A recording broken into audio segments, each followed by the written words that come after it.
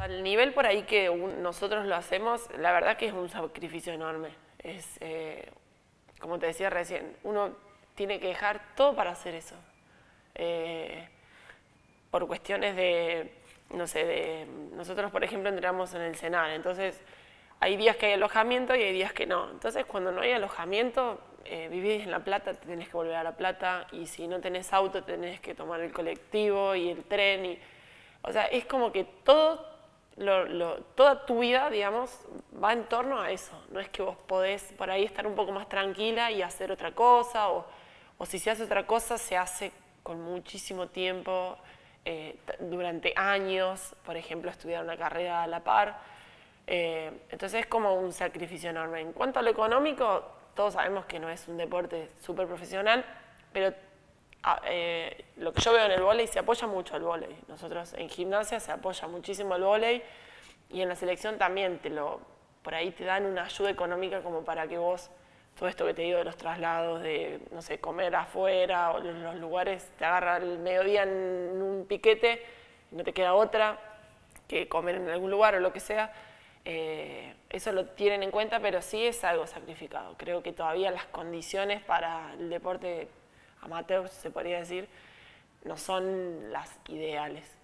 masculino por ahí llama más la atención y todo, pero no deja de ser eh, lo mismo, solamente que con mujeres.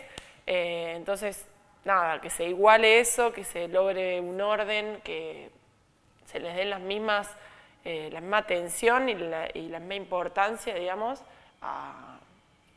al femenino que al masculino. Eh, para adentro, ¿qué, notas en ese? No, por ahí eso que te digo. de, la cotidianidad en las diferencias o en las similitudes o en los procesos que uno debiera tener respecto del otro?